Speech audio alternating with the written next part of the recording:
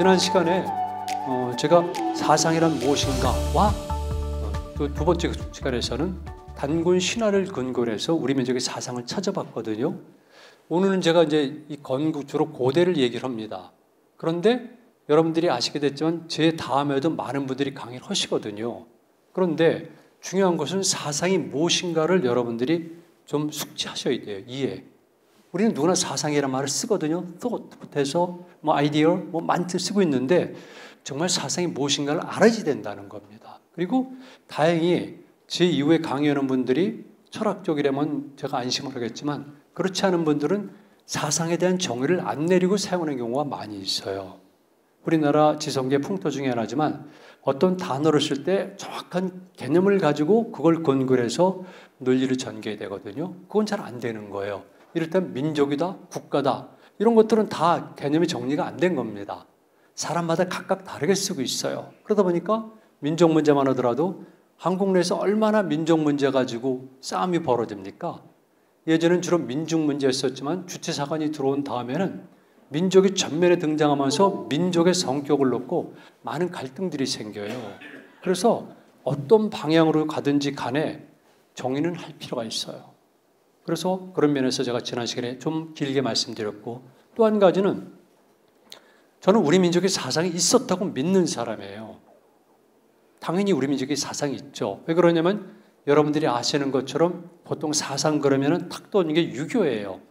그리고 조금 더 높이 보는 분들은 불교거든요. 그런데 그 이전부터 불교가 들어왔다는 설도 있지만 기본적으로는 4세기 초 아닙니까? 소수리망 때. 그러니까 그때부터 사상 그렇지만 당연히 그 이전에도 사상은 있었죠. 왜냐하면 정치적 국가가 있었지 않습니까? 그 국가가 우리가 생각하는 거대한 스테이트는 아니라고 생각해요, 저는. 그러나 분명히 조선이란 국명을 가진 실체가 있었고요. 조선의 마지막 단계 오게 되면 부열한 나라도 병립합니다. 유만조선 때죠. 그러니까 국가 단계로 흔히 말해서 도시국가지만은 아주 강력한 정치 세력은 BC 15세기까지 저는 올려다 봐요. 사실은. 그런데 그때부터는 최소한도 우리가 사상이라고 부를 만한 것은 있는 것이죠.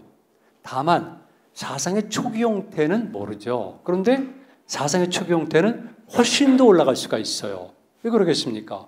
지금 여러분들이 들어보셨겠지만 요한 문명론의 홍산 문화 그리고 뒤를 하가즘 하층 문화 이 시기에 가게 되면 분명히 굉장히 강력한 정치 체제가 있는 건 사실이에요. 우리가 스테이트는 아니지만 정치 체제가 있는 건 사실이죠. 왜냐하면 거대한 고분군들이 있단 말이에요. 돌로 쌓은 계산식 적성 무덤들도 있고 신전도 있고 재단도 있고 그리고 굉장히 복잡한 토기가 있어요. 제가 복잡한이란 말을 쓴 이유는 복잡하다는 것은 형태가 다양한 것도 있지만은 선생님 지금 난방이 부셨을 때 그 온갖 다양한 디자인이 있잖아요. 이런 로직이 들어가 있다는 거죠. 거기에 있는 이 톡에 있는 문양들은 그냥 한 것이 아니라 그 사람들의 세계관과 상징, 비유, 그러니까 한마디로 LOGIC, 로직이 있는 거거든요. 그래서 최소한도 홍산문화 시기부터는 저는 사상이 있다고 보지만 우리가 사상, 사상가 이랬을 때는 적어도 최소한도 우리가 BC 15세기까지 올려봐야 되지 않을까. 이게 제 개인적 생각이에요. 그러면은 천년 이상의 공간이 비잖아요. 근데 우리가 불교 사상이 처음이다 이런 것과 아니면은 흔히 말해서 BC 10세기 전부터도 우리 민족의 사상이 있었다. 이건 큰 차이가 있는 거죠. 그리고 사실이 그렇고요. 그렇게 나라가 있었는데 사상이 없어서 되겠습니까? 그렇죠. 당연히 있어야 되는 거죠. 그럼 어렵게 생각하지 마시고 이데올로기가 있어야 되잖아요. 한 정치 체제가 있는데 그 체제를 끌어가는 이데올로기가 없으면 안 되지 않습니까? 이데올로기는 분명히 있었던 거죠. 그리고 이데올로기는 주로 사상 중에서도 사회 사상, 사회 시스템과 연관된 것들은 우리가 이데올로기라고 볼수 있지만 그러나 기본적인 것은 또 있는 거죠. 그래서 흔히 말하는 사상, 지난 시간에 말씀드렸지만 이를테면 천지창조, 우주가 창조됐다라든가 세계관이죠. 그 다음에 이를테면 나라가 세워졌다는 것, 건국관이죠. 인간관이죠. 홍이 인간처럼 인간을 어떻게 규정할 것인가 이런 것도 해가지고 생사관 등등 많은 것들이 합쳐져야 돼요. 그리고 무엇보다 중요한 것은 사회관이에요. 이 사회를 어떤 식으로 이끌어갈 것인가에 대한 관이 있거든요. 그래서 아쉽게도 그런데 우리는 그런 것들이 많이 안 남아 있어요. 그러니까 지금 우리는 사상 그러면은 없다고 생각하고 굉장히 어떤 의식의 진공 상태에 들어가 있는 거죠. 저는 그것을 참을 수 없을 뿐만 아니라 틀렸다고 봐요. 그거를 우리가 못 찾았을 뿐이지 없는 건 아니잖아요. 시대 상황으로 볼 때, 그리고 많은 것들이 있는데 왜 뭐 없겠습니까? 그래서 오늘도 잠깐 말씀드리겠지만, 오늘 어제가 한글날이었었죠? 한글이란 것은 제가 어제 일부러 한 3년 전쯤에 신문에 연재할 때 쓴 글을 올렸는데, 표북에다가 한글은 정말 특별한 글자예요. 그냥 넘어가지만 우리가 생각하는 그건 단순한 글자는 아닌데 일단 그렇게 고도의 논리라든가 조직화시킬 수 있는 한글을 만든 우리잖아요. 근데 그 전 시대도 당연히 저는 있었다고 봐요. 그래서 그런 것들은 글자는 아니지만 이를테면 토기 모양이라든가 토기의 문양이라든가 아니면 신앙이라든가 이야기라든가 전설이라든가 그리고 모든 것을 합친 신화죠. 미스. 이거 신화가 되는 거죠. 이런 것은 당연히 있다고 봐요. 그리고 지난번에 한번 제가 보여드렸었는데 이미 50만 년을 전후한 시기에 사람의 모양을 한 족각품들이 있었죠. 지난 시간에 보셨죠? 아, 보셨구나. 그 우리 통념을 깨는 거예요. 우리나라 학자들의 통념을 깨는 세계사적인 보고들이에요. 50만 년을 전후한 시기에 이미 조각품을 인간의 모양은 조각품들이 나와요. 그때는 우리 인간이 우리 인류가 호모 사피엔스가 아니잖아요. 우리는 호모 사피엔스 사피엔스거든요.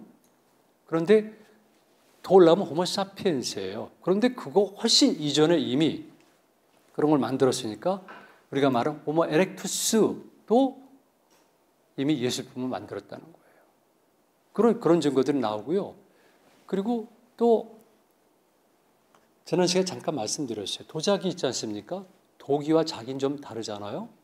그런데 도자기, 높은 온도로 구운 도자기도 우리는 보통 1200도씨 그러게 되면은 통신라 정도로 얘기를 하거든요. 일본도 보통 고대 시대는 핫집기 800도 정도밖에 불을 못 올린다고 그래요. 그런데 2만 5천 년을 전후한 시기에 도자기처럼 구운 인부상들이 그 인부도 대충 우물딱 우물딱 한 게 아니라 지난 시간에 보여드렸지만 아주 복잡하게 고도로 추상화되면서 논리적인 이런 것들이 시리즈로 발견되고 있어요. 지역 따위 선이 그어져요. 이렇게 이섬 쭉 유럽 남부 쪽으로 해가지고 이렇게 그러니까 이미 사실은 이미 오래 전부터 인간은 사상의 기본 형태를 갖춘 건데 다만 동아시아에서 우리 역사를 놓고 볼 때는 지금 간신히 제가 올리는 BC 한 15세기 정도까지는 있었다. 이렇게 얘기를 하는데 앞으로 달라지겠죠. 그죠?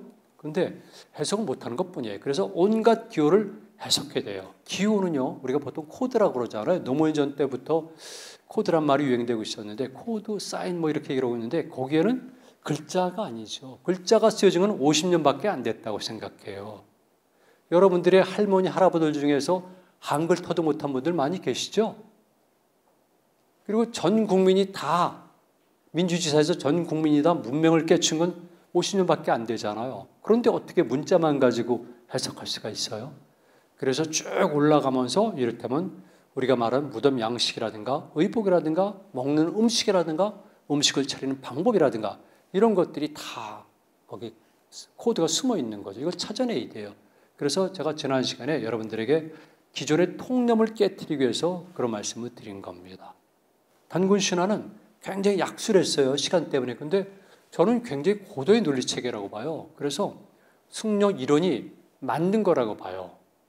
그랬을 때 어떤 사람들은 오해할 수가 있죠. 아, 아무것도 없는데 이론이 만들었고 신화. 그러니까 이건 호구 얘기다. 그것이 아니라 그렇게 전해져 내려오는 이야기나 이런 형태로 전해져 내려오는 신화를 이런 때 이런이란 특별한 천재가 그거를 자기 세계관에 맞춰서 철저하게 로직화시킨 거죠. 그렇잖아요. 공자도 모든 작품들이 다 그런 거잖아요. 그죠? 노제의 도덕경도 마찬가지잖아요. 그리고 마찬가지로 구약도 신약도 다 후대 사람들이 다시 정교하게 그걸 짠 거잖아요. 그 시대의 시대 정신에 걸맞게 시대 언어로 철저하게 논리화시킨 거잖아요. 그렇게 보는 게 옳아요. 그래서 그 시기에 이미 단군 신의 원형이 있었다는 증거들은 많이 있죠. 다만 이론이 철저하게 처음부터 끝까지 완벽하게 퍼펙트하게 했다는 것 뿐이에요. 그리고 뒤를 이어서 재앙운기라든가 여기에도 보면은 단군 신화가 기록이 되어 있지만 조금 달라요. 당연하죠.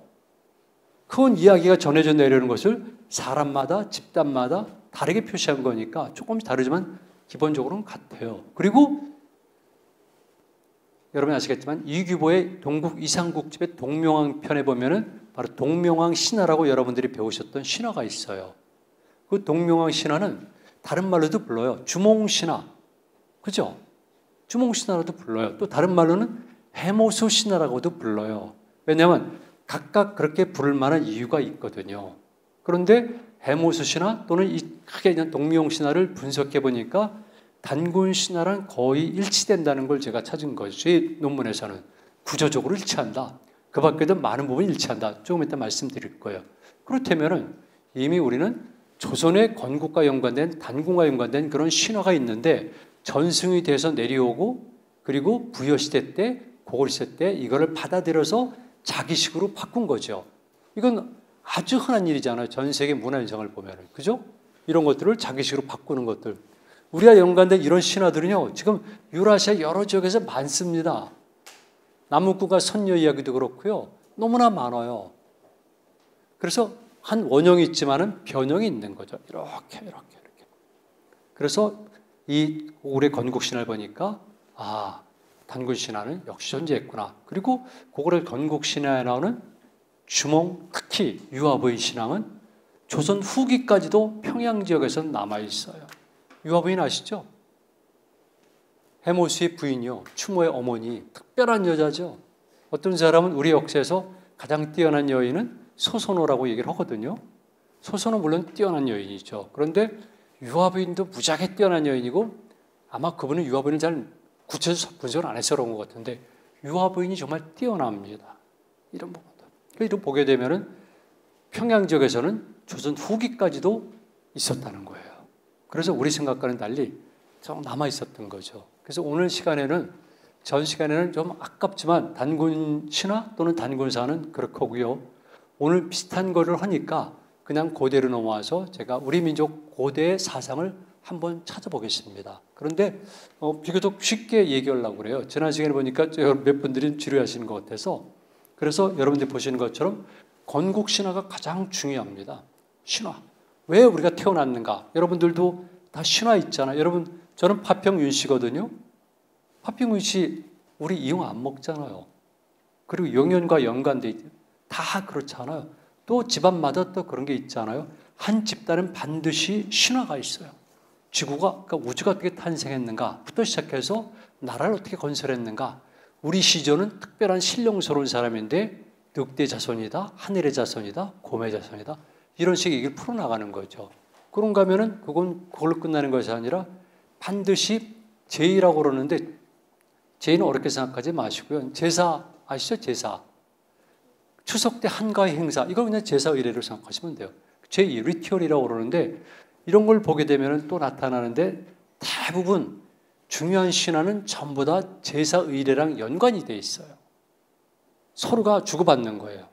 그러니까 제사 의례의 기본 로직은 신화가 제공하고 신화가 있었던 것은 제사 의례를 통해 가지고 구현되는 거죠. 그냥 이야기가 아니라 직접 행위가 될까? 여러분들 알고 계신 마야나 잉카나 뭐 등등 이런 것들은 전부 다 리튜얼 제사의래요. 그러니까 어떤 사람들은 제의학파, 이 신화의 제의학파들은 제의가 더 우선이다 이렇게 얘기하는 경우도 있는데 일반적으로는 신화 이야기가 먼저고요. 그걸 뒷받침해주는 행사, 리튜얼이 있는 거죠. 그, 그것도 분석해야 되고요. 근데 나머지는 뭐 그런 거죠. 신앙. 제의와 신앙의 일본 일치가 되고 유물이 많습니다. 제가 지난 시간에 비파형 동검도 고인돌도 보여드렸잖아요. 그 다 들어가 있는 거죠. 고인돌을 여러분들 특별한 형태의 그 모양을 그걸 그 사람들이 왜 그렇게 세웠겠습니까? 그냥 세웠겠습니까? 그리고 아무데나 세웠겠습니까?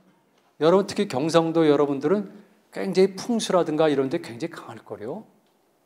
그러면 무덤도 집토고로는데 그렇게를 쓰는데 그럼 그 시계는 오죽했겠습니까? 그렇죠?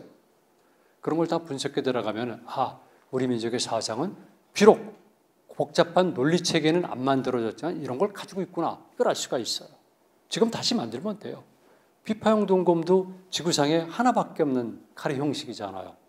비파 모양에 들은 이 칼. 지구상에 하나밖에 없어요. 유목민족들이 가지고 있는 통장의 칼, 중국인들이 가지고 있는 칼과 달리 우리가 가지던 고조선이죠. 그 시기의 비파형 동검은 지구상에 하나밖에 없어요. 그럼 왜 이렇게 비파라는 이름을 붙일 정도로 아름답고 묘하게 이루어졌을까? 당연히 이유가 있는 거죠. 여러분들 아마 조금 나이가 덜 된 분들은 아도왕의 이야기 아시죠? 엑스카리버. 영화에 너무 많이 나오잖아요. 원탁의 기사 등등. 그만큼 이 엑스카리버 칼이 중요한데 이거 우리 역사 다 있어요. 주몽이 아들 유리가 배어 있는데 도망 올 때 뭡니까? 칼을 부러뜨려 가지고 숨기잖아요. 일곱 모난 돌에다가 이거 찾아가지고 와라.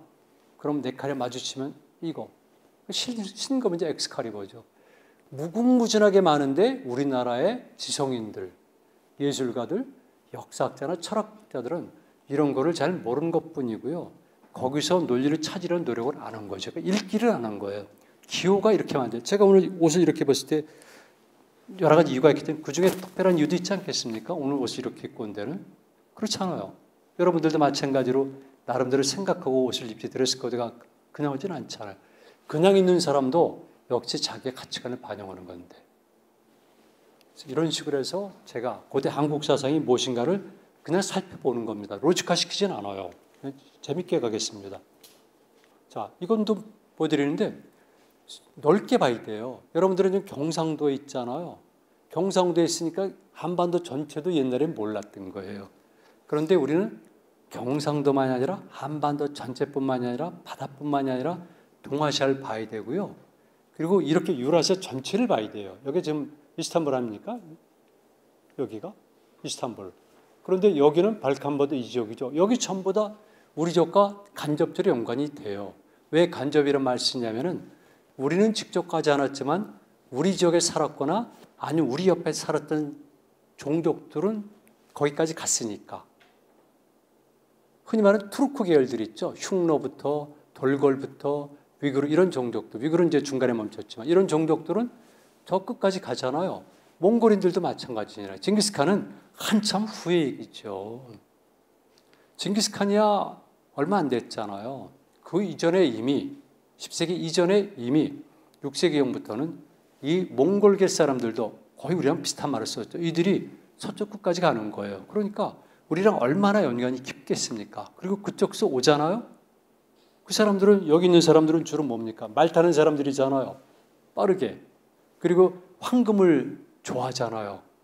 유목민족들은 황금을 좋아할 수밖에 없잖아요. 왜? 금이 가지고 있는 색깔 때문에. 그 태양이죠. 또 한 가지는 들고 다니니까. 부가가치가 높으니까. 금을 숭배하는 거죠. 그 다음에 하늘을 신령스럽게 여기고 왠지 우리랑 좀 비슷한 것 같지 않아요? 어, 빛, 광명사상, 어, 하늘 등등. 그 밖에도 많은 것들. 이게 연결된 거예요. 그리고 청동기 문화는 우리족도 있었습니다. 예전에는 일방적으로 우리는 초원유목 문화의 청동기 문화를 받아들였다라고 주장했는데 그렇지는 않아요. 우리도 청동기 문화가 있었습니다. 그리고 더 오래된 것이 있습니다. 그런데 우리가 말하는 현재로서는 BC 12세기인데 14세기까지 올려보는 경우도 있지만 청동 제품들이 발견되는데 그 제품들은 초원 유목문화의 영향을 받은 것들이죠. 그래서 혹시 여러분들이 국사 시간을 기억하면서 어, 우리는 스키토 시베리아야 그 용어도 틀렸지만 그래서 우리 청동기를 그쪽에서 받아들였다 그러는데 여기가 발전한 겁니다. 다만 새로운 기술력을 가진 새로운 스타일의 문화가 들어온 거죠. 그러니까 거기에는 우리 문화가 더 씌워진 것 뿐이에요. 꼭 그거 이해하세요. 우리는 무조건 받은 것이 아니라 여러분들이 배운 건 스키토 시베리아가 아니라 우리는 여기 원래 요동 요소 지방부터 해서 발달한 겁니다.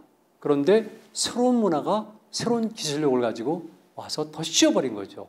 당연하지 않습니까? 스타일이 다른데. 여러분들 지금 입고 있는 옷이 우리들의 옷도 아니잖아요.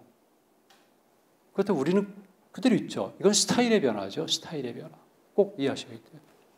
그래서 우리는 이제는 우리 역사에 바라볼 때는 좀 넓고 크게 보자. 그리고 지금 globalization. 제가 내일은 충남 도청에서 지속 가능한 발전을 위한 이 큰 학술회의에서 제가 이제 기조 발표를 하거든요.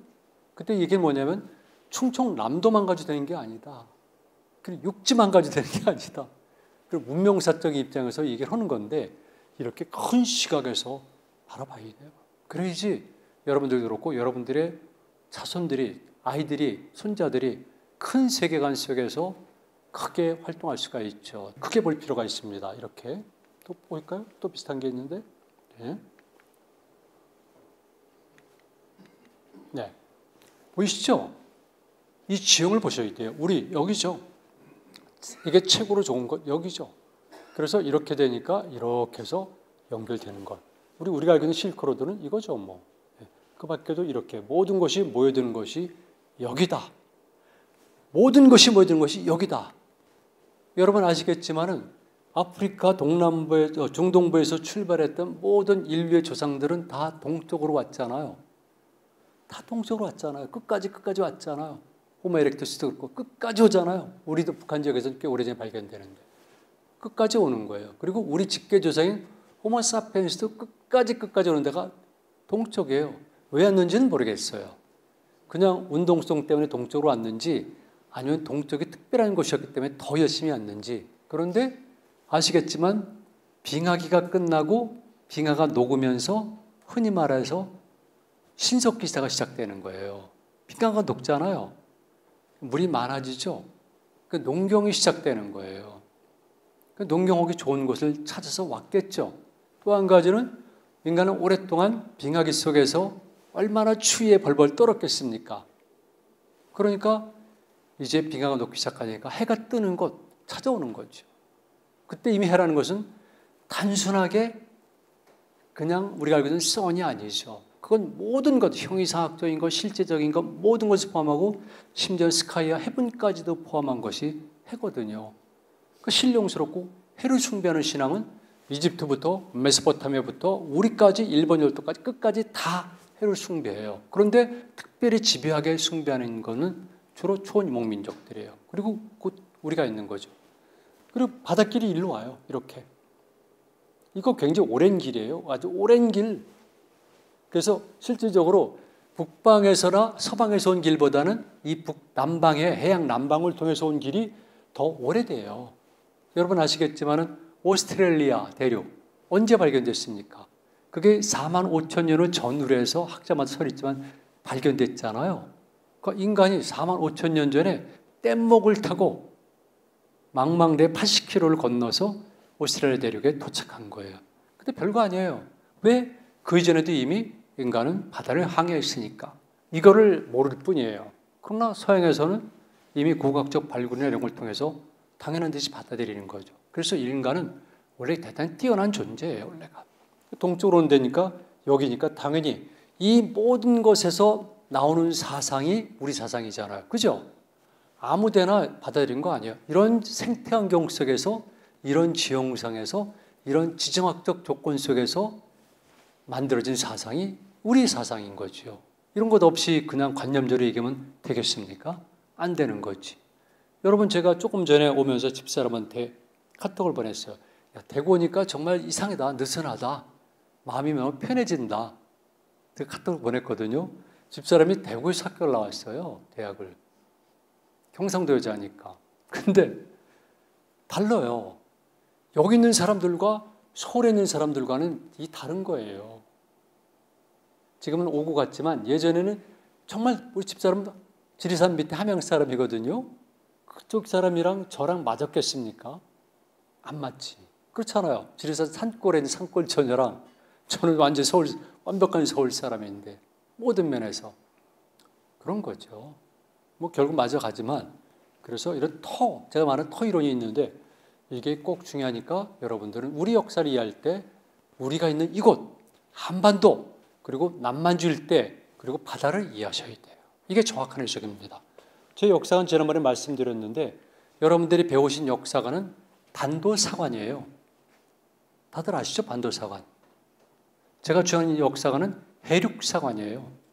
해양사관은 제가 역사가 최초로 전국대에서 우리 역사를 바다적 관점에서 보자. 이렇게 얘기했지만 다시 교정한 것은 해륙사관, 바다와 육지를 유기적으로 보는 역사관을 갖자. 이게 제 주장이에요.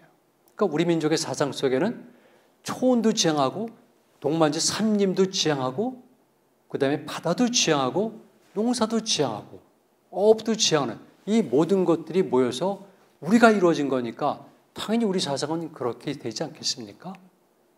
이게 맞는 거예요. 제가 여기서 낸 결론은 모르죠. 옳은지 그런지. 그러나 접근 방법은 옳은 거죠. 그냥 관념적으로 그얘면 곤란해요. 그리고 몇몇 사료를 가지고 그 사료는 가진 사람들, 극소수의 사람들의 자기들의 생각이에요. 그래서 이런 걸 제가 보여드리면서 아, 저게 동아시아 지중해 이러니까 넘어가고요. 또 이렇게 보여드릴게요. 이게 우리입니다. 여기 보이시죠? 이게 우리 민족 활동 부대예요. 이게 이게 고구려였지만 이렇게 나머지는 간접 영향권. 그러니까 여기는 완벽하게 우리가 실제적으로 흔히 말하는 교년 10세기 전부터는 우리가 우리 터였었죠. 우리 기마 민족 아니에요, 우리. 부여인들 그리고 고구려 사람들이 말을 잘 타서 그걸 통해 가지고 국가 발전에 성공한 거죠. 고구려 기마 군단은 대단해요. 그건 세계에서 뛰어난 건데 그렇다고 기마 민족은 아니에요. 우리는 기마 문화도 있지만은 수렵 삼림 문화가 있어요. 숲이 워낙 발달했기 때문에 숲과 연관된 문화가 있어요. 대단한 거죠. 경제적 가치가 무궁무진해요. 어제 제가 어떤 노인네를 만나서 꿀을 드렸거든요. 저보다 더 나이 드신 뭐 다 아시는 분들인데 그런데 그 꿀은 제가 천산에서 가져온 거예요. 파미르 꿀도 제가 가져오잖아요. 거기 사니까. 그러면은 이것이 귀하면 옛날에도 다 그런 게 수출품이었잖아요. 꿀 생산지가 어딥니까? 가장 좋은데 이런 데는 동만주 일대잖아요. 또 모피도 가장 뛰어난 모피 산지는 누구나 알고 인정하지만 현재 만주 지역이잖아요. 동만주 지역. 그래서 러시아가 마지막에 니콜라 2세 붕괴 직전까지도 그 러시 이 극동 지방에서 나는 모피 세금을 가지고 황실의 재정 운영의 3분지를 담당했어요. 그리고 18세기 전까지는 오로지 모피 때문에 동쪽으로 이동하는데 그 모피의 산지가 어디입니까? 지금 동만주 일대인데 그 땅은 옛날에 발해 땅이에요. 그리고 그 땅은 옛날에 고구려 땅이에요. 고조선은 일부 있지만 발해가 얼마나 모피 무역 국가인가는 우리 기록에는 없지만 중국 사례 조금 나오지만 일본 사례는 너무나 너무나 구체적으로 나와 있어요. 그러니까 우리는 그 수렵 삼림 문화가 굉장히 발달한 거예요. 뭐 어마어마한 무역 국가죠, 발해는. 그래서 이런 걸 같이 봐야 된다. 우리 민족의 사상은 오늘 결론은 못 내리지만 아 우리 민족을 이해할 때는 우리 민족의 사상을 이해할 때는 이렇게 접근해야겠다. 꼭 여러분 옆에 두세요. 사상에 관한 얘기를 제가 지난 시간에 한 걸 다시 보여드린 거죠. 최소한도 이 정도는 분석해 들어가야 돼요. 그러고 난 다음에 사상이 무엇이다. 이렇게 되는 거예요. 불교도 마찬가지고요. 동학도 마찬가지고 사상 때는 가장 기본적인 것들에 대한 자기 정의가 있어야 돼요. 그래야지 우리가 흔히 말하는 사상의 체계를 갖췄다고 보는 건데 이거를 우리가 채워넣어야 돼요 앞으로. 언제? 고대. 그리고 출발했던 원조선이죠. 프로토조선에 관해서도 채워넣게 되면 세계를 향해서 우리 민족의 원래 사상은 이렇다. 이럴 수가 있죠. 추상적으로 얘기하면 안 되는 거죠. 이걸 보여드린 겁니다. 여기서 한 말은 딱 한 가지예요. 아, 우리 고대 국가들은 전부 다 조선을 계승했구나. 조선은 어떤 나라입니까? 흔히 말하는 단군과 연관된 조선이에요.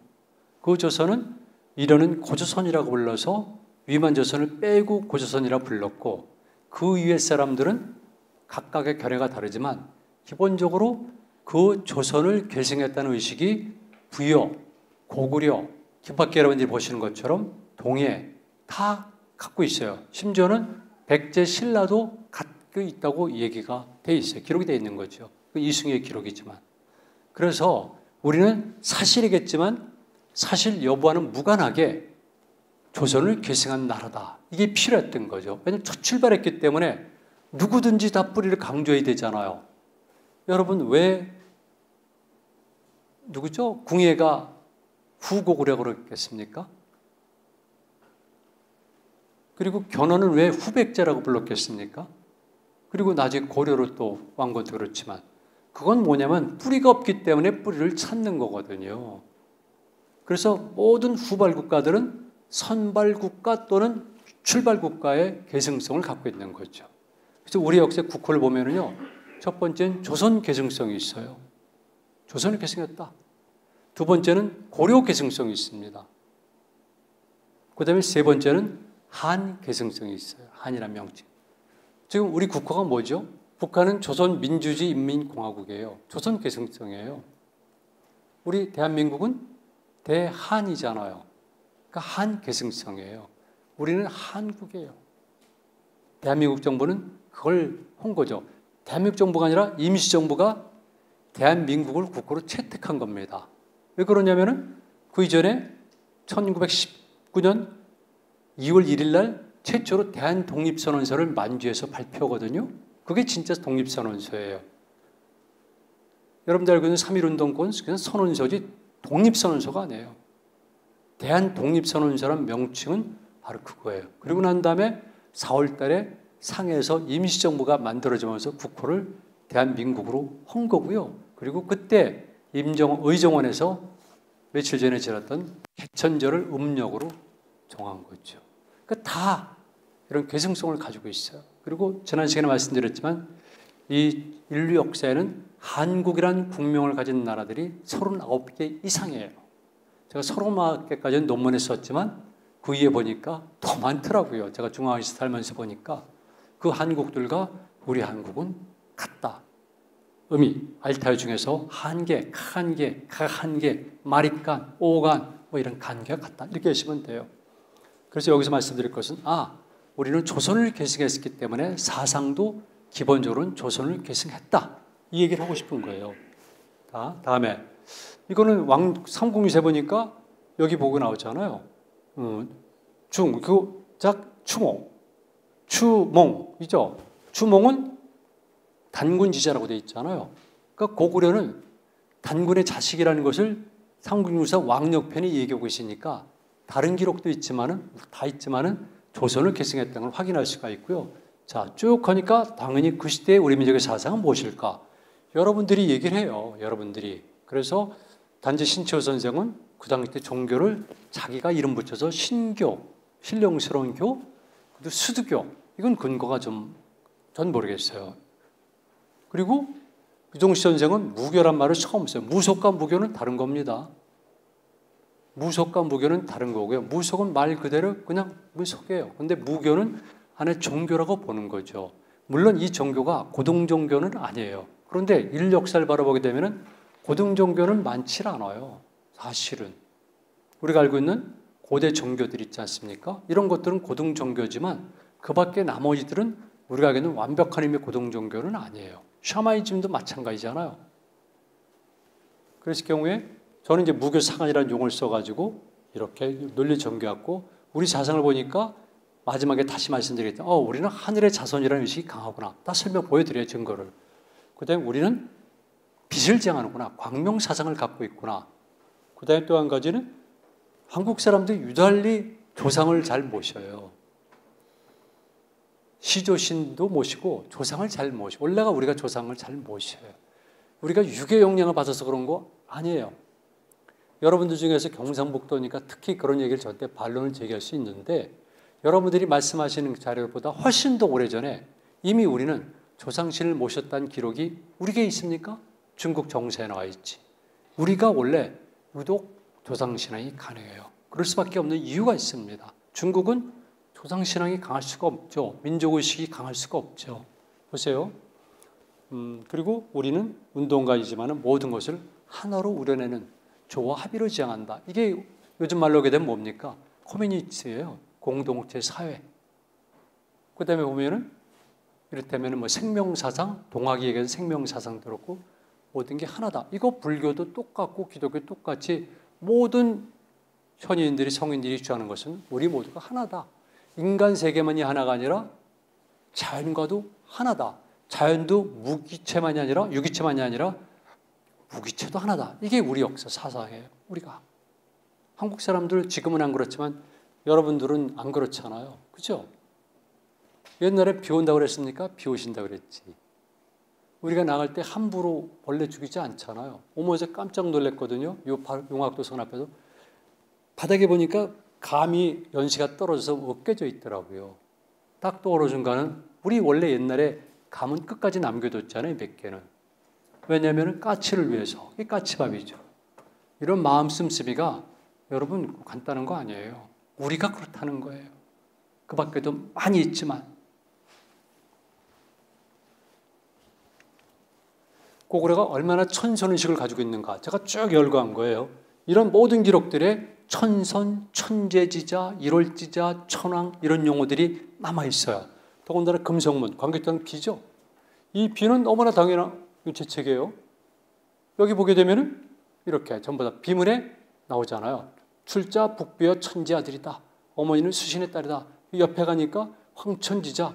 또 돌아갈 때도 보니까 승천했다. 뭐 이런 용어들. 일월지자 다 나와요.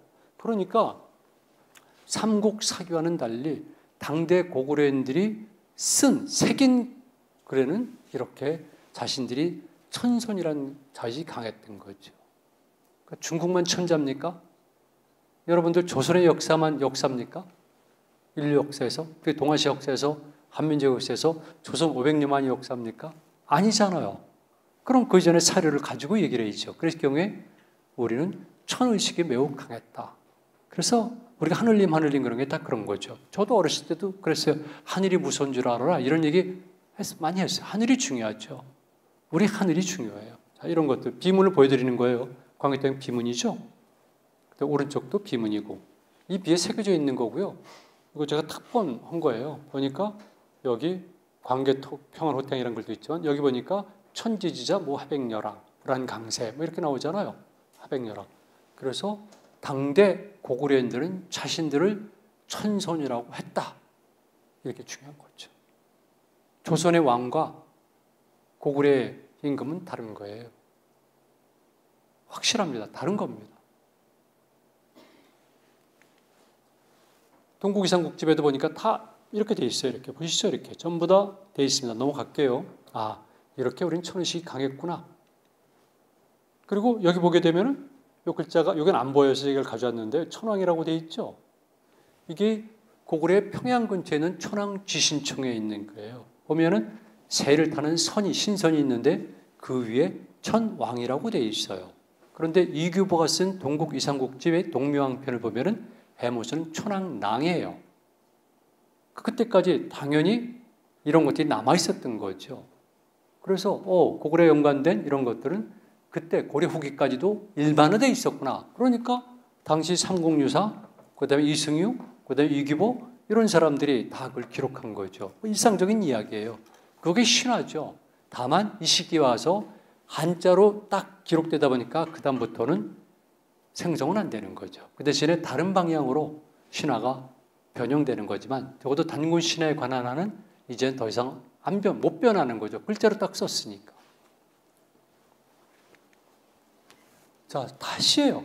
해모수 성했습니다. 고구려 임금들은 초기 왕들은 당연히 해시고요. 중기도 보면 해시 성으로 나타나는 임금이 있어요. 기본적으로 해시입니다. 고시는 이제 나중에 만들어진 거죠. 그리고 고구려의 국명은 현재로서는 장수왕 때 한 4, 5년 전에 한 젊은 친구가 젊은 학자가 어, 충주 비를 광개투당으로 해석했기 때문에 그렇다면 그때도 고려란 국명을 쓸 수는 있어요. 그런데 현재까지는 장수왕 때부터는 국명이 고려입니다. 다만 우리가 고구려로 쉽게 이해할 뿐인데 고려. 근데 보니까 전부 다 이렇고요. 박혁꽃에 보면 박 여기 박시성 가진 분 계시죠?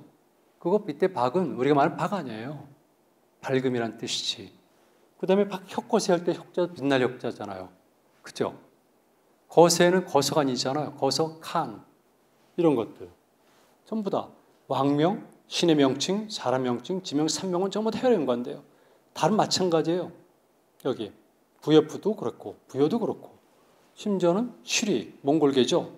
이렇게 흰빛을 좋아하는데 이유는 그것이 또 white가 아니라 bright라는 거죠. 한국 사람들은 백의 민족 그랬을 때 그걸 굉장히 자랑스럽게 생각해요. 이때 백의는 bright, 강한 힘을 가진 bright지 일본인들이 우리에게 알려준 친절하게 가르쳐준 그 white가 아니에요. 그게 우리가 한 겁니까? 우리나라 그 지식의 예술가들에게 또 얘기했고, 그게 우리가 한 겁니까? 일본인들이 한 거지. 야나기 무네요시라든가 세큐노 다다시 같은 사람들이 우리 문화로 규정을 했고, 우리를 그렇게 본 거죠. 우리는 굉장히 강렬하고 강해요. 그러니까 아직까지도 못 벗어나고 있는 거죠. 얼마 전에 어떤 방송 녹음을 했었는데, 그때 제가 약간 올라가지고 문제가 생겨서 지금까지 좀 여러 문제가 있는데 우리는 하도 먹을 게 없어가지고요. 먹을 거 보러 다니다 보니까 빨리빨리란 생, 그, 그게 생겼대요. 첫 번째, 우리는 어렸을 때 우리는 늘 천천히 움직인다고 배웠고요. 양반 그러기 때문에. 그런데 실제로 우리는 모빌리티, 역동적인 집단이에요. 그런데 먹을 게 없어서 그랬대요. 우리나라처럼 먹을 게 풍부한 나라가 이 지구상에 어디가 있어요? 제가 단언해요. 제가 세계를 많이 다녔어요. 오지도. 그리고 객관적으로 학자기 때는 비교하는 겁니다. 근데 관념제 얘기하는 것이 여기만큼 먹을 게 많은 나라는 없어요, 땅을. 이렇게 좋은 땅, 온갖 먹을 게 있는 나라.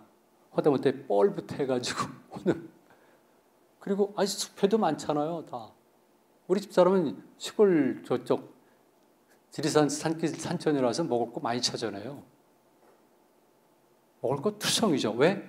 다른 나라에서는 못 먹어요. 같은 종이라도. 근데 이 땅에서 먹을 수가 있는 거는 이 땅이 가진 기후와 풍토 때문에 그렇죠. 독특한. 자, 그래서 보니까 이렇게 많은 태양 숭배 얘기들이 있다. 이걸 말씀드리는 거죠. 유화 부인하고 고목은 거의 같습니다. 지난 시간에 말씀드렸는데 곰은 생물학적 의미의 배우 여러분 곰 토템으로 배우셨죠?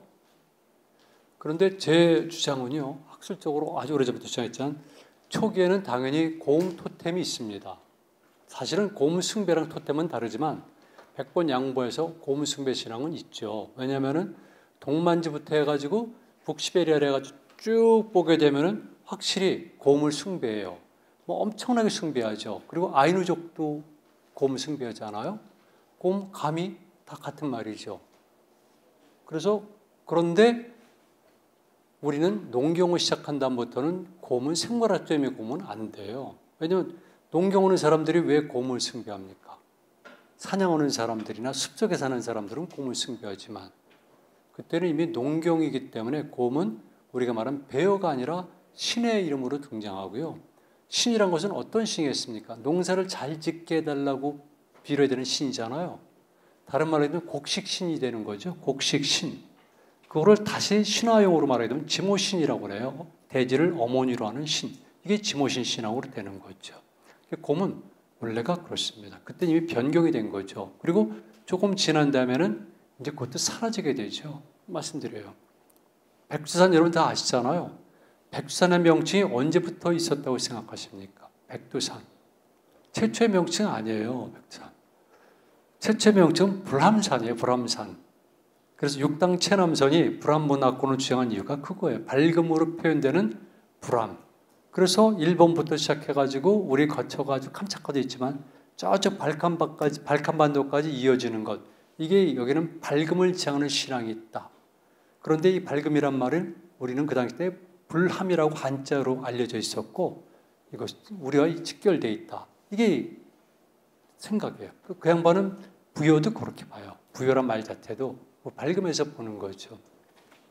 그래서 이렇게 쭉 보게 되면은 이렇게 밝음 신앙이 쭉 있고 고음은 그때 생각하게 되면 이제는 성격이 변하게 되는 거죠. 그래서 그 시기에 걸맞는 종은 백두산의 또 다른 명칭처럼 개마산이에요. 백두산. 불암산은 여러분 다 아시잖아요.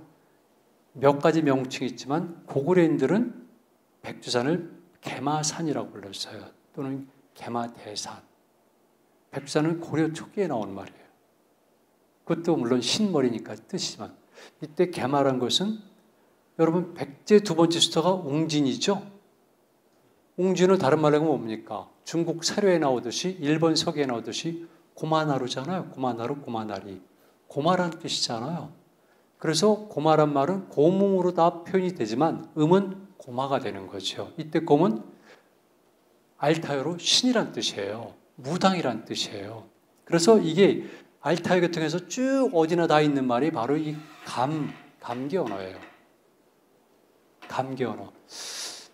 혹시 검단이란 지명이 이 근처에 있나요? 대구 근처에 검단. 있죠? 아, 대구도 있구나. 네. 김포에 가면 검단 있잖아요. 검단 신도시. 많아요, 검단은. 서울의 팔당에도 가면 검단산이 있고. 그리고 제가 김포 사람인데요. 김포가, 그것도 참 무식한 문제인데, 김포가 김자 있잖아요, 김자. 성김을 읽어서 김포지만 원래 김포가 아니라 금포예요. 그것도 경주도 금성이잖아요. 금포예요. 경도강 때 735년에 금포로 바꾼 거예요. 근데 그 이전에는 고구려나 백제는 검포라고 불렀어요. 또는 금포라고 불렀어요. 그때가 다르죠. 이제 감, 검, 금, 곰, 고마, 개마. 그래서 감견어거든요.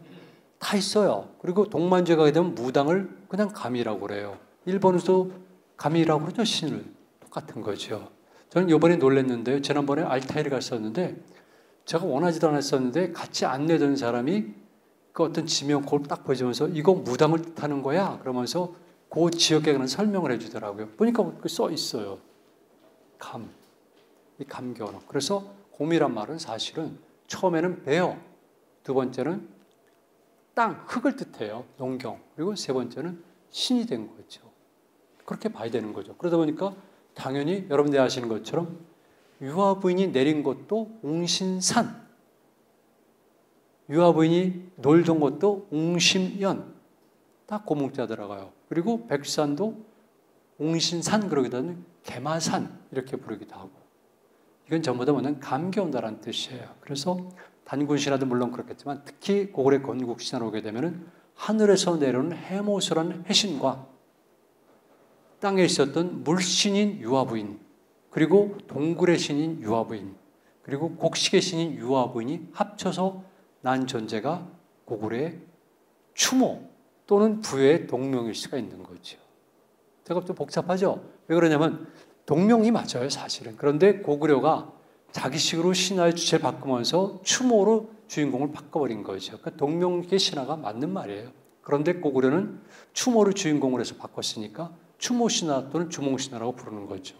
자, 이걸 보시게 되면 이제 대충 짐작이 되죠. 아, 우리는 고구려만 하더라도 해신과 그 다음에 물신, 땅신, 동굴신 이 신이 모여서 이루어진 존재로구나. 그러니까 하늘과 땅의 결합에 의해서 탄생된 것이 우리의 조상이잖아요. 추모. 당연히 단군도 환웅천왕, 환인 서자, 서자 환웅이 내려왔잖아요. 강호 태백산정 신단수와 위지 신시. 그런데 결국 환웅도 환웅 천왕이야. 그런 글자에서 보듯이 천왕이에요. 그리고 고음과 만나서 결국 옥녀로 변한 다음에 된 거죠. 그 우리는 가장 신령스러운 집단이라는 것을 만들어낸 거고 실제로 아마 그럴 거예요. 어떤 신들, 집단들, 여기서 토착 집단 간에 그리고 더 중요한 거는요. 어디나 마찬가지로 토착 집단이 있으면요. 이주민들이 와요. 저는 이런 얘기를 해요. 우리 민족이 민족이라는 용어 쓰죠. 우리 민족이 일본 열도에 가가지고 얼마나 많은 살육을 했을까? 어떻게 생각하세요? 우리 민족이 일본 열도에 도착하면서 얼마나 많은 토착민들을 살육했을까? 생각 한번 해보는 거예요, 그냥. 왜냐하면 일본에는요, 조몽시대라고 해서 현재까지는 지구상에서 가장 일찍 토기가 만들어졌어요. 가장 뛰어난 토기예요. 세계 문화유산에 등재됐어요. 한국 사람들이 모르지만. 그런데 그 사람들은 우리가 말하는 흔히 말하는 금속 문화가 없었어요. 금속 문화. BC 4세기경부터 한반도 남부에서 주민들이 집단적으로 건너가요. 제가 질풍노도란 말을 써요. 바다를 제가 항해를 많이 했어요. 그것 때문에. 그래서 사실은 82년도에는 거제도에서 뗏목 만들어가지고 일본까지 가다 중간에 실패했고요. 83년도에는 대마도 거쳐서 휴슈까지 제가 뗏목으로 항해를 했죠. 왜냐하면 선사시대부터 일본 열도로 항해가 가능했을 뿐만 아니라 항로는 이뤘을 것이다. 다 있는 논문을 발표하니까. 그러니까 얼마나 많이 현지의 약한 순한 사람들을 살육했겠습니까? 아니면은 그들과 더불어서 하나가 되고 공존을 취했겠습니까? 그죠? 유목민족들은 대부분 와가지고 다 죽입니다. 징기스칸도 제가 있는 사마르칸트는 쑥밭을 만들어요. 그 이전에는 알렉산더가 어디 쑥밭을 만들지만 그런데 어떤 집단은 처음부터 토착민 집단과 스팝을 하죠. 알렉산더만 하더라도 사마르칸드까지 저항하는 데는 완전히 내지만 다른 지방 가가지고는 알렉산더 부인 자체가 그저 현지 여자잖아요. 록사나. 아리스토텔레스의 그 제자기 때문에 그게 헬레니즘이에요. 그런데 우리는 중국에 살던 사람들이나 북방 또는 동방 만주에서 내려간 그들에 의해서 중국을 정복하는 과정처럼 살육전과 정복이 아니라 우리는 독특한 생태 환경과 역사 사상을 볼 때 가능하면 싸움을 덜하고 공존을 취했다. 그러니까 증산교 용어로 상생을 취했다. 이렇게 되는 거죠. 그리고 또 다른 말로 하게 되면 조화 합의를 추진했다.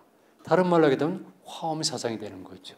우리는 좀 독특한 집단이에요. 이걸 찾아야 되는 거죠. 그래서 홍의 인간, 인간의, 그때 홍의 인간의 인간은 휴먼이 아닙니다. 휴먼이 아니라 인간이에요. 사람 사이예요. 불교 용어예요. 그러나 인간은 휴먼 한 개체가 아니라 인의 사이니까 이건 말 그대로 커뮤니티가 되는 거잖아요. 어쨌든 간에 우리의 홍의 인간은 널리 인간들 사이를 이롭게 하는 거니까 정말 그거는 좋은 거죠. 그래서 저는 상당히 좋은 사상이라고 보는데 문제는 지금 현대에 맞게끔 홍의 인간을 다시 풀어내야 된다는 거죠. 철학자가 아니니까 철학자들이 철학 용어로 설명해야 되고 역사학자가 많은 사실들을 뒷받침해주고 종교학자, 종교하는 사람들이 그거를 다시 신앙화시켜서 한다면 우리는 새로운 사상을 만들어낼 수가 있어요. 홍의 인간을 토대로 한 새로운 사상. 인류가 지금 원하고 있잖아요. 모든 인류가 지금 새로운 사상 원하고 있잖아요. 새로운 문명 때문에. 그 역할을 우리도 할 수 있다는 것이고 우리가 좀 조건이 좋다는 거죠. 제 관점에서. 아, 이거 있구나. 이게 3이라는 숫자예요. 나왔는데 이게 3이라는 숫자죠. 이게 1이잖아요. 이제 여러분 천부경 다 아시잖아요, 요즘은. 천부경 요즘 뭐 누구나 다 알더라고요. 이제 천부경. 이게 83년도에 제가 만든 뗏목의 깃발이에요. 천부경처럼 1에서 3을 낳고 3에서 1을 낳는 거. 이게 그거예요. 이 황색이니까 당연히 해를 뜻하는 거죠. 해모수는 우리 민족의 바로 태양을 뜻하는 거죠. 이런 뗏목의 이름을 가지고 제가 항해를 했던 거예요. 그리고 당연한 것이겠지만은 여기는 사상이 들어가 있죠. 3. 3조고가 다 그런 거죠. 자, 나오는구나, 3조고도. 보세요. 이건 일본 축구협회 엠블렘이에요. 2002년도에 이거 신문 기사에 제가 온 건데 여기다가 우리 요거랑 같이 해가지고 기사를 냈어요. 우리는 까마귀를 흉조로 보고 있었는데 일본은 1930년대 초대 이미 까마귀를 이렇게 축구협회 엠블렘으로 삼았다. 왜냐면 까마귀가 길조니까. 북방 민족들에게 까마귀는 길조예요. 해를 상징하는 새니까. 삼족 오, 안 까마귀 오자가 그렇잖아요. 그죠? 근데 우리는 언제부턴가 중국 사람처럼 까마귀를 싫어하는 거죠. 제가 말씀드린 팩트입니다. 그래서 제가 2002년도에도 동아일보의 기사예요. 사진이랑 같이. 그리고 이거는 96년도에 제가 중국 절강성서 뗏목을 띄웠어요. 한반도까지 뗏목을 타고 오겠노라고 4천년 전에도 항해 가능했다. 근데 중간서 태풍을 또 만나가지고 늘 만나요. 그래서 북상해가지고 산동성에 가면 적산 법화원이라고 있어요. 다 아시죠? 장보고가 세운 적산 법화원. 그 앞 모야더라 조그만 동네 앞섬이 있는데 거기 9km까지 갔죠. 16일 만에. 그때 물론 행방불명이 돼가지고 실종보도가 나는 날 우리는 도착했어요. 그리고 이제 17, 97년대는 흑산대 도착해가지고 어, 제가 인천까지 왔는데 그때 뗏목에 그림이 뭐냐면 이게 삼조고예요. 제가 96년도부터 이미 삼조고로 이렇게 표현한 거예요. 우리 민족의 사상을 좀 알리고자. 지금 저걸 그린 사람은 강찬모백이라고 지금은 대단히 유명한 화가예요. 근데 그 당시 때 몇십 년 전이니까 그 당시 때 좀 젊었겠죠. 하여튼 저한테 그려준 거예요. 친하니까. 이게 지금 앞으로 큰 돈이 되겠죠, 사실. 보세요. 그래서 삼조고도 단순한 것이 아니라 우리 민족에 가진 조화 합의를 의지하는 3이라는 숫자를 썼다. 제가 말씀드리잖아요. 82년에 논문 썼고 85년에 학기제 발표했고 83년도에 이미 3 이런 깃발을 만들었고 그 다음에 3조고도 이미 96년도부터 그렸다고. 그러니까 누가 뭐래도 학자는 자기가 한 결과를 말하는 거죠. 누구보다도 먼저 3의 논리를 일찍부터 주장하고 논문 시집 많죠. 3이라는 논리, 이걸 지금 찾는 거예요. 어떻게 하면 이 3의 논리를 철학자들이 좀 철학답게 사성답게 만들면 어떨까 바라는 거죠. 우리 민족은 이렇습니다. 조상 숭배와 시전 인생 강하죠. 이거 인간관에 관한 문제인데요. 제가 다 정리한 거예요. 중국의 사료들을 본 거예요. 그만큼 우리 조상들은 특히 부여 고고려인들은 조상을 귀히 모셨어요. 3년상이 중국 거라고요. 아, 물론이죠. 그러나 그 전에 우리는 이미 이렇게 치렀던 거예요. 우리는 글자가 없었던 겁니다. 기호가 없었던 겁니다. 한글이 있기 전까지는. 몇 분들이 한자는 우리가 만들었다고 그러는데 우리의 한 branch가 만들었을 가능성은 커요. 그러나 그건 그들의 문제지 우리에게는 전승된 바가 없어요. 만약 그것이 우리가 글자를 만들어서 했다면 끝까지 사용하고 우리는 다른 역할을 운영했을 텐데 아시겠지만 우리는 한자를 안 썼잖아요.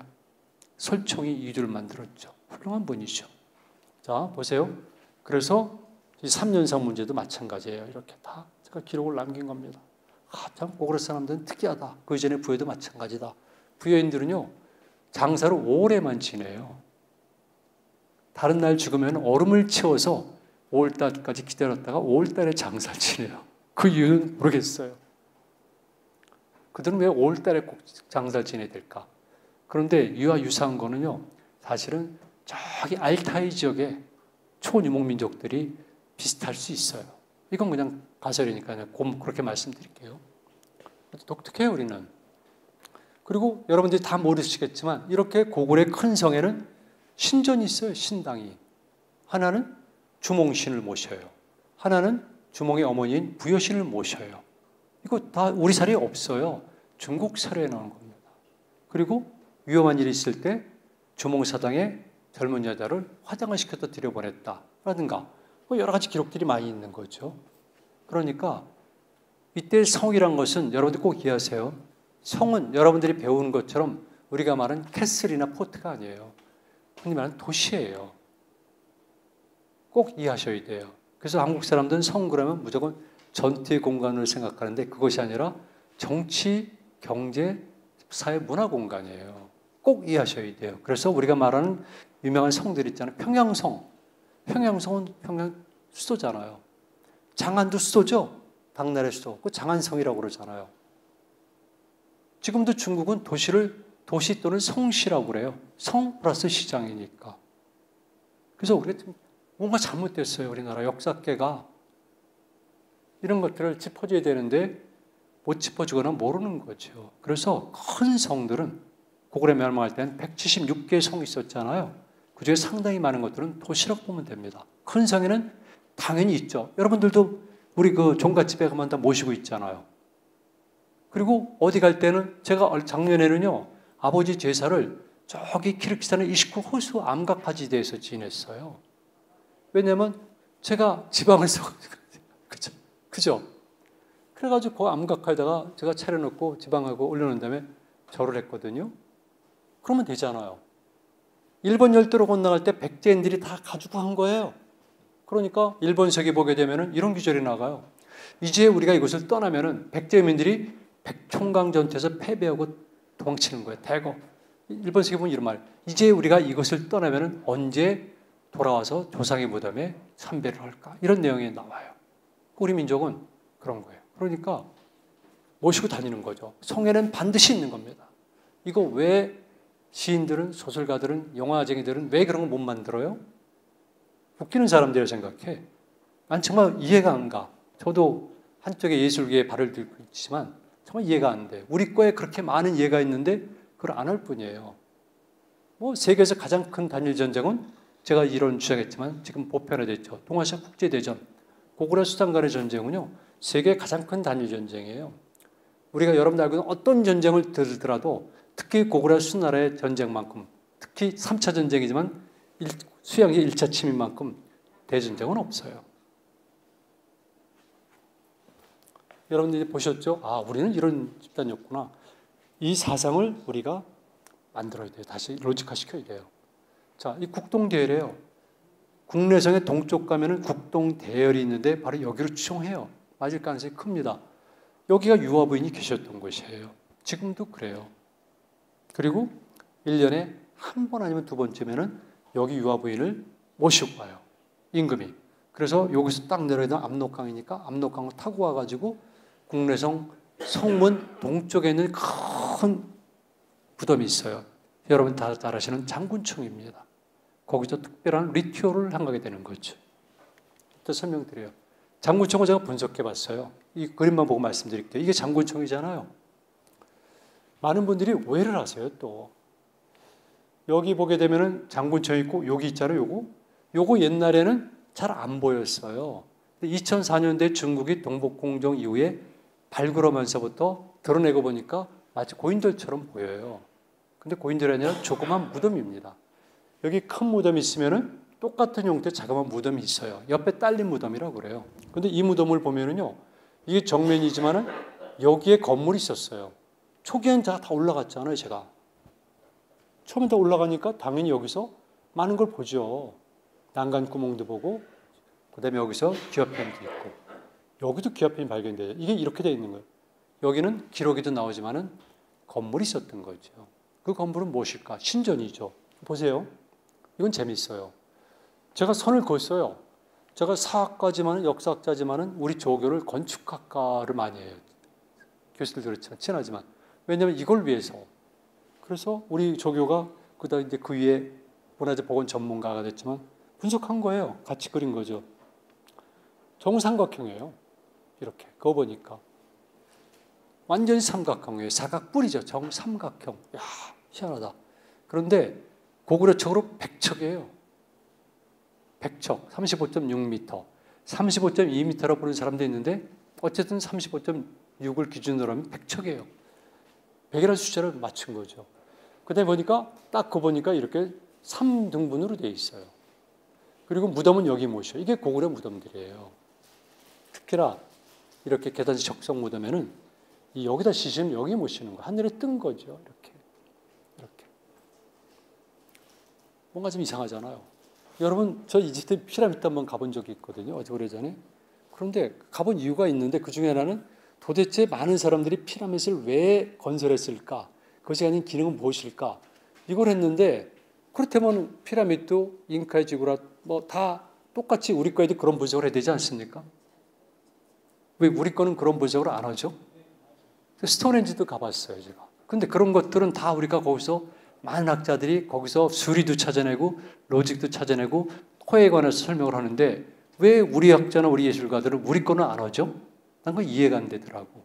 아까 말씀드렸던 고인들이 아무데나 푹푹 씌워집니까? 자기 집 아버지, 어머니 무덤토를 그렇게 열심히 고르는 사람들인데 그렇잖아요? 당연히 수리 분석했죠. 그랬더니 정삼각형이에요. 그리고 3등분 되어 있어요. 3등분. 그리고 보니까 늘 궁금했어요. 이게 7층으로 되어 있어요. 7, 7층. 7이라는 숫자는 중요하잖아요. 럭키 세븐이라고요? 아니. 럭키 세븐 때문에 7 좋아하는 게 아니라 원래 우리가 7을 좋아했습니다. 아시잖아요, 여러분. 칠성판부터 해가지고, 칠성님부터 해가지고. 원래 우리가 7을 좋아해요. 럭키 세븐이 아니에요. 7이잖아요? 그런데 7층이라서 어, 이건 분명 의미가 있구나. 그런데 한 층마다 계단이 3개예요. 그럼 3, 7은 21이죠. 근데 마지막 아랫부분 보니까 4개예요. 그래서 이게 고민이었는데 우리 그 건축하는 조교가 아, 이 교수님 이거는 그냥 기단부예요. 그러더라. 그러니까 7층이 전부 다 한 층에 3계단씩 3층은 21이 되더라고요. 그럼 혹시 여러분들 3층은 21, 100 그러면 떠올리는 게 없습니까? 단군 신화잖아요. 쑥과 마늘 처음에 내려올 때 천부인 세 개를 갖고 내려오잖아요. 그죠? 그리고 1호가 있어요. 동열이고 한 마리 곰과 한 마리 호랑이가 같은 굴에 있는 거예요. 검은색에 암흑색에 있는 거죠. 그래서 원하위 인간이 되고자 하니까 그럼 너 먹어라. 그러면서 준 게 뭡니까? 쑥 한 줌과 마늘 스무 개잖아요. 그리고 분명히 얘기해요. 너 100일 동안 이거 먹지. 해라. 100일 동안 이렇게 살아. 그런데 21일 만에 다 나오잖아요. 범은 탈락. 검은 21일 동안 만에 여인이 되잖아요. 그죠? 왜 인이 된 거예요, 인이. 웅녀가 된 거죠. 이제는 웅, 신이 아니라 녀, 신이 면서 인간이 된 거죠. 데미 휴먼이 된 거예요. 데미 가시 된 거죠. 그러니까 결국 100이라는 숫자랑 쑥한 줌과 많은 20개는 21가 되고 3, 7, 21이라는 숫자까지 나오니까 다 일치가 되는데 혹시 여러분들은 당연히 그러셨겠지만 여러분들의 자녀들은 안 그랬을 거예요. 여러분들의 손자, 손녀들은 앞으로 영원히 안 오겠지만 우리 아기 낳게 되면 세일에 또한 금줄 매달았죠? 매달으셨죠? 네. 안 매달으면 어떻게 해요? 우주의 탄생인데 오히려 그분들은 사람을 존중한 거예요. 그래서 우주의 탄생이에요. 그러니까 검줄을 쳐가지고 몸 밖에 들어오는, 뭐 잡기며 사람 못 들어오게 만드는 거죠. 그리고 그때는 뭐냐면 동네 사람들도 다 우리는 시족사회잖아요. 저는 가족 공동체라는 용어를 써요. 제가 만든 용어지만 다른 데랑은 달라요. 정말 여기는 혈연적성이 강한 게 우리인데 특히 경상도 말할 것도 없지 뭐. 그러니까 거기는 한 마을에서 아기가 태어나면 그 시족 전체에 부가 생성되고 전사가 탄생하는 거고 모든 게 다 달라지는 거죠. 그 3초는 20일. 그래서 단군 신화 이런 것들은요. 좀 비하게, 비하게 되지만 우리 신앙에 똑같이 나와요. 음, 유아부인도 똑같아요. 유아부인도 아시잖아요. 아버지가 입을 잡아, 잡아당겨가지고 말을 못할 정도인데 금화가 해줘서 금화도 곰, 곰이에요. 그리고 가둬둔죠. 어둠 속에 가둬두는데 갑자기 빛이 들어와요. 그래서 유아부인이 도망 다니잖아요. 이렇게. 도망 다니는데 결국은 빛이 쓰여져가지고 임신을 하게 되고 알을 낳게 되는 거죠. 똑같은 거예요. 구조상으로. 그리고 빛이 하늘에서 내려오는 거는 유목민족들의 건축 구조예요. 어디나 다 있는 거지만.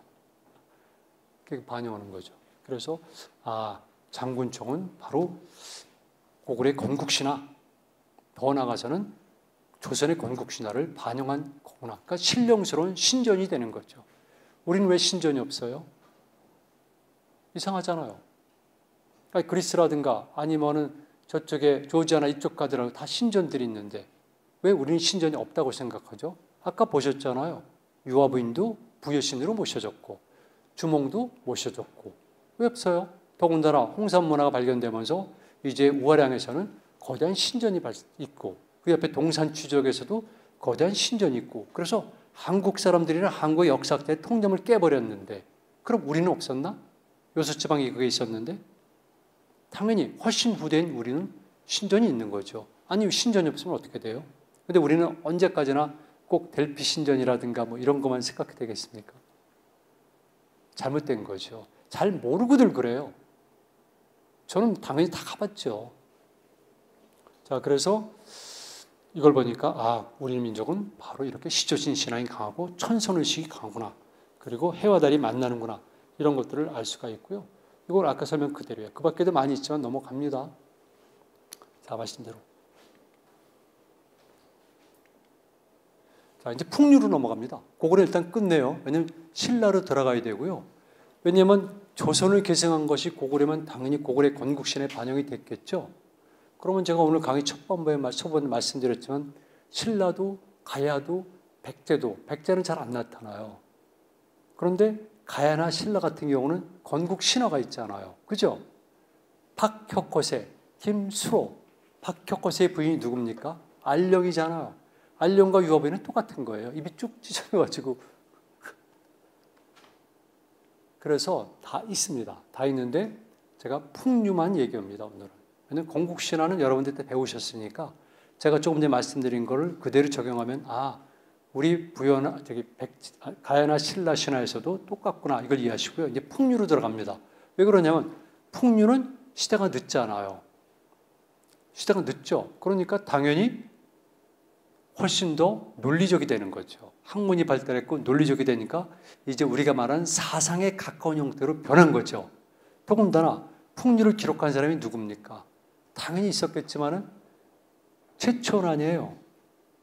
그럼 최천이 오죽 잘 알아서 그렇게 이걸 사상화시키는 문구로 만들었겠습니까? 제가 만약 쓴다면은 저도 당연히 일반인과는 다르게 역사학자에서 또는 사상사 입장에서 쓰는 것과 똑같은 거죠. 그래서 제가 다 지워버렸어요. 그래서 일부만 딱 조금씩만 예를 들었었는데 여기 보니까 삼국사기 보니까 난낭비서가 나오잖아요. 난낭 비서. 난낭은 화랑이죠, 뭐. 화랑. 그런데 거기 서문에 보니까 다 있는데 여러분이 보는 것이 바로 포함 3교예요. 그리고 접합 군생이란 말인데 이 부분을 놓고 말이 많은 거죠. 일단 풍류란 말은 이제 있어요. 신라의 아주 현미한 도는 풍류가 있으니까 아 신라에서는 풍류가 있었구나. 꼭 이해하시면 돼요. 아 이건 도로구나. 사상이죠. 그런데 또 선사가 상세하게 갖추고 있다 그러니까 신선에 관련된 역사책에서 설명을 한 거니까 우리는 모르겠지만 도교인지 우리 민족의 신선 사상인지 모르겠지만 그걸 다룬 책에 설명이 돼 있어요.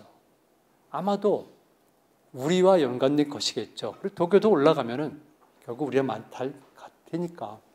그런데 그러면서 쭉 얘기를 하고 마지막에 가면서 이 포함 상교인데 이 3교를 유불선 세계를 포함해서 풍류가 이루어졌다. 이렇게 해석하는 경우가 있고요. 또 한편에서는 이미 풍류 속에서는 유적, 불적, 선적 요소를 갖추고 있다. 이렇게 해석하는 게 두 가지가 있는 건데 이거는 한문을 해석하는 거에 따라서 달라져요.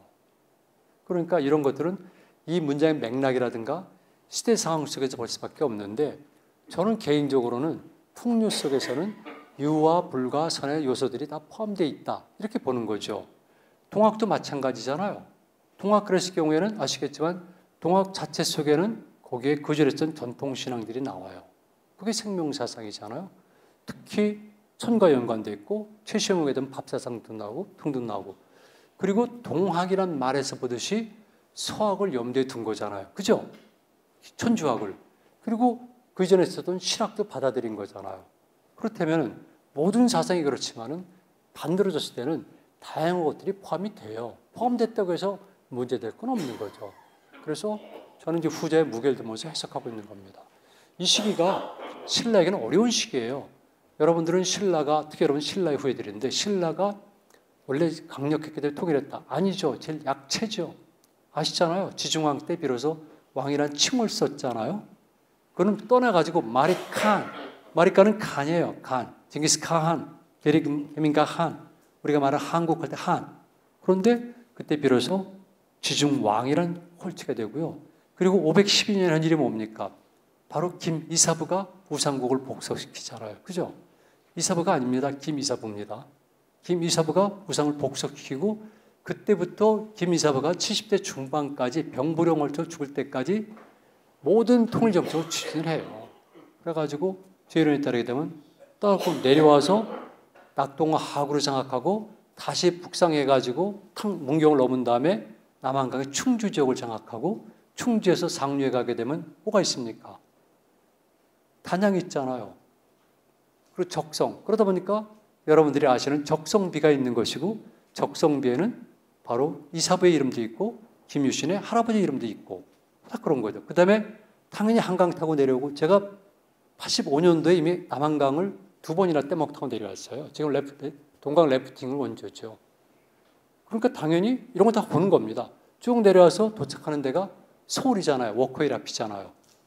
워커힐 앞. 제가 뗏목이 거기까지 오니까 워커힐 앞이에요.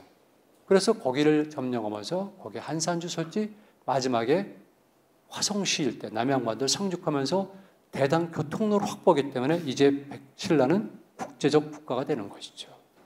이런 과정이에요. 자, 이런 시기에 얼마나 위기에 처했겠습니까? 또 한 가지는 이제 우리는 빠르게 성장해야겠다. 그렇다면 당연히 거기에 원강이라든가 자장이라든가 등등 있었고 원강에 의해서 화랑이란 것이 나오는 거죠. 세수 5개. 이해되시죠? 참 여기서 꼭 말씀드릴 거는요. 여기 나오나? 안 나오는구나. 화랑도란 말은 없습니다. 원래가. 화랑이지. 그 일본 학자가 화랑도라고 불렀던 것이고요. 그 다음에 그 이후에 우리가 그 예전 이성문 선생이 화랑도 그래가지고 그리고 화랑도 이렇게 되지만 실질적으로 도란 말은 없고요. 화랑이고 또 정확히 말하면 풍류도는 있죠. 접하군색 이런 거죠. 그래서 풍류에 관해서 쭉 설명을 제가 정리했는데 제 논문이에요. 신초부터 해가지고 이렇게 했는데 여러분들 알고는 풍류 이건 아니라는 거죠. 여러분들 알고는 풍류는 변질의 변질의 변질을 거듭하는 거죠. 풍류나마 남자가 풍류라고 할때 선비들이 풍류래 정제 앉아가지고 잘 못하는 한문을 가지고 시 짓고 제가 분명히 썼어요. 신문에 글쓸 때도. 난 의심한다. 그 당시 때 우리가 말하는 정말 뛰어났다는 선비들이 정말 철학적 담론을 논할 수 있을까? 자기 자국어 언어가 아닌데. 자, 넘어갈게요. 그리고 최남선이 이렇게 얘기를 합니다. 그래서 아 우리가 말한 풍류는 바로 불의 부르도 연관이 돼 있다. 이런 주장을 하면서 끌어올리는 겁니다. 그래 안지용 선생도 다 민족주의 사학자들이죠. 뭐 안재홍 선생도 이렇게 얘기를 하고 있어요. 이렇게. 그리고 안재홍 선생은 포함 삼교 접하 군생 이거는 홍익한 사상이다 얘기를 하고 있고요. 참 재밌는 거는 이 양반들이 당시 화랑들도 뭐냐면 명산 대천 유호 산수란 말을 쓰잖아요. 명산에 열심히 열심히 다니는 겁니다. 지금 등산하는 거 마찬가지로 유호 산수 그리고 산수를 접하면서 논다지만 그 노는 거는 우리가 말하는 오락은 아니죠. 이렇게 그들은 수련했는데 그 수련은 무슨 수련일까? 당연히 풍류랑 연관되는 거죠. 풍류란 문장 속에서 나온 거니까.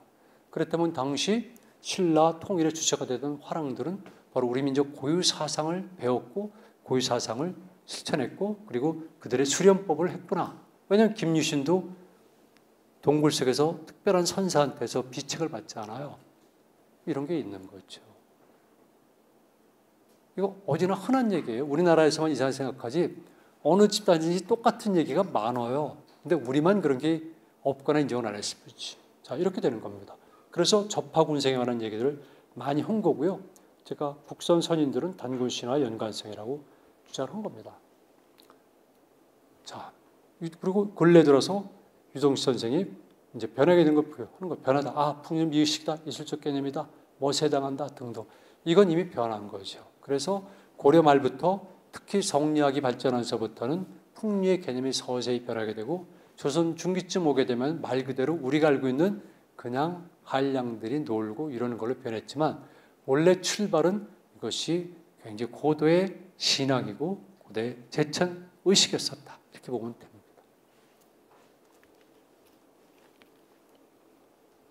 이제 이런 것들이 제 다음에 여러분들이 말씀하시잖아요. 정재서 선생도 얘기하고 얘기할 텐데 저랑 의견이 다를 수가 있어요. 근데 여러분들은 일단 이건 제 의견을 받아들이시고 다른 선생님의 의견은 또 받아들이세요. 받아들여서 여러분들이 나름대로 자기 의견을 생각하면 됩니다. 그리고 여러분들은 굳이 학자가 아니니까 그럴 필요 없어서 그냥 이걸 통해서 우리 민족의 사상과 정체성 문화를 이해하면 되는 것이죠. 얼마나 재밌습니까?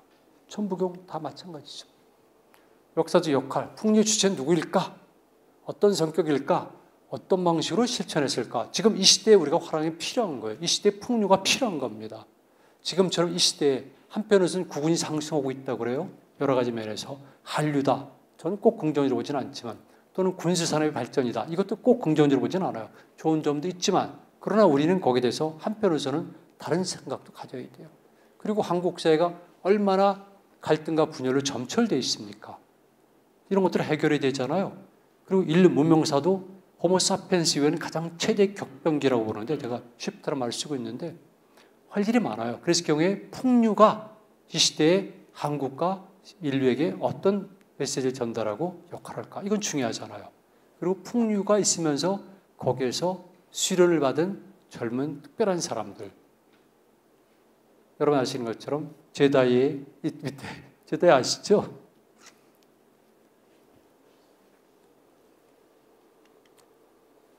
그래서 우리나라에 보니까 어, 친철 선생이 하는 것처럼 우리 이런 게 많았다.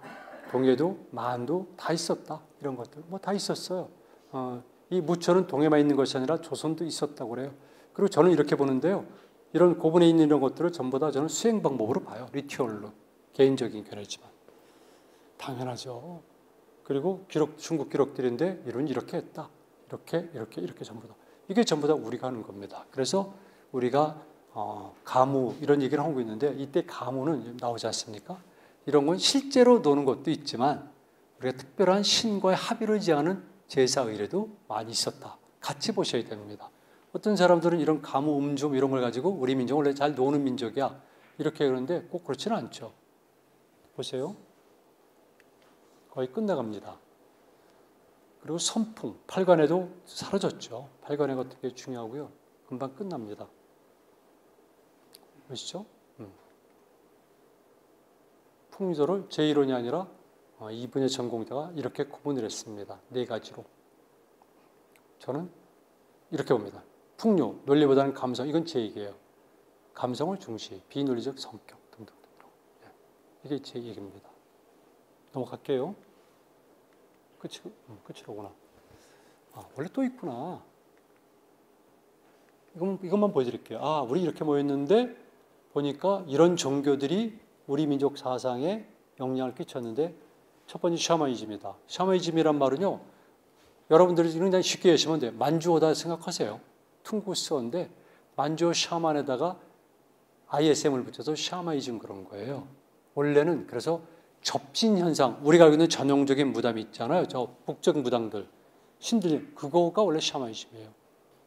근데 지금은 전 세계가 그냥 고등 종교 이전의 종교, 1차 종교, 기층 신앙을 샤머니즘이라고 쉽게 부르는데 원래 의미는 동만지에서 출발했던 그겁니다. 이게 신길마다 펄펄 뛰는 거. 이런 것들 정정순배 탱그리 신앙. 이게 육당 선생이 이런 얘기를 했고 일부 사람들이 많이 수용해서 좀 확대 해석하는 경향이 있지만 탱그리는 음, 하늘을 뜻해요. 임금을 뜻하기도 하고요. 위그린들, 고직전의 투르크인들은 탱그리 신앙이라고 있고요. 지금도 탱그리 신앙을 갖고 있어요. 신앙 이름이 탱그리 신앙이에요. 하늘 신앙이죠. 그런데 이 탱그리가 육당 체험선이 처음 이렇게 얘기를 했습니다. 탱글은, 아, 탱그리는 바로 우리말 단굴에 해당한다. 단군 있죠, 단군. 이때 단굴. 특히 경상도 지방의 골매기 신앙도 있지만 이런 단골 무당할 때 단골. 그래서 탱, 단군은 탱글이다. 이렇게 육당이 주장했고요. 그 이후에 최근에 들어서 보니까 이걸 좀 과장되게 해석하는데 그건 잘못된 거예요. 음. 어쨌든 굉장히 관련이 깊어요. 조상숭배 이런 것들. 이거 바이칼의 발렌틴 사진이고 이르쿠츠크에 있는 이 샤만들이고요. 브리아트 샤만들이고 나나이족. 나나이족은 여진족이라 보면 돼요. 만주족. 지금 흑카시 주변 찍은 것들이고 이건 캄차카. 음, 이건 우리 무당. 그다음 신단수 신앙. 어, 지금은 모조리 베어버렸지만 우리 옛날에 다 나무 있었죠, 당나무. 당나무 있어야 되는 거죠. 왜? 지금 여러분들은 안 보시지만 젊은 사람들이 보는 영화 있어요. 토로 이런 영화들, 바이킹 영화들은 세계수란 말은 거기서 나온 말이에요. 신화 용어로는. 그러나 전 세계에 있었고 우리는 동네마다 당나무가 있었어요. 제가 첫 시집이 당나무고요. 신단수고 두 번째 시집이 당나무예요. 제목이. 당나무는 그만큼 중요해요. 근데 우리는 모조리 잘라버렸죠. 그러니까 뿌리가 없어서 지금도 굉장히 한국 사회가 분열됐잖아요. 정신적으로 우리 전체를 연결시켜줄 이 무엇이 없어요. 한국은 정말 큰일 났어요. 이렇게 사는 게 결코 좋은 사회는 아닌데 왜도 남북과 선도 다 있는 거죠 어디나 다. 그래서 제가 음, 이거예요. 이게 무용총회에 나오는 거예요. 신단수 제주도. 그다음에 저거는 바이칼 또노 알타이 산맥. 이거는 저기 키르기스탄의 천산지역 이런 신단수. 저거는 브리아트니까 브리아트 공화국의 무당들이 입무식할 때 제가 갔어요. 대샤만. 브리아트 공화국의 대샤만이고 전부 다 무당들이 오고 애무당들이 입무식하는 데 제가 갔을 때 찍은 건데 이런 것들 바이칼에 있는 아르훈바, 불칸바이, 아론 여기에 네. 어, 다 있습니다. 이것도 역시 이거는 바이칼 남쪽이고요. 이건 아론섬 들어갈 때 보니까 나무들에 전부 다 이렇게 줄을 맸잖아요. 우린 전 모자를 없었잖아요. 지금 있는 건 전부 다 관광용 그런 거니까. 그러니 뭐 우리가 진심이 있겠습니까, 우리가.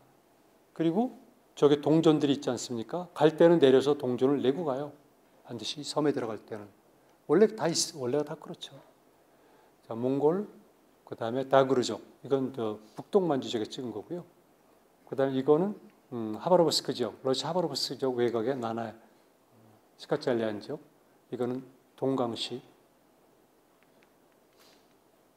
네, 그리고 다 끝났구나. 새신앙, 동물숭배 이런 것들이 있었다. 늘 제가 강의를 하다 보면 끝날 때쯤 아쉬움이 많은데 좀 더 많은 말씀을 해드리고 싶었어요. 그리고 이 기획을 제가 굉장히 좋아했습니다. 같이 보하고 이게 처음부터 끝까지 해서 잘 모으게 되면은 여러분들은 정말 행운이죠. 다 들으니까 모으게 되면은 한국 사상사의 맥을 좀 짚는 자료집이 되지 않을까 싶어요. 다음 선생님들도 훌륭하신 분들이니까 아마 여러분들을 위해서 많은 말씀하실 것 같아요. 저는 아쉽지만 아시죠? 이 정도로 제 강의를 끝내도록 하겠습니다. 고맙습니다.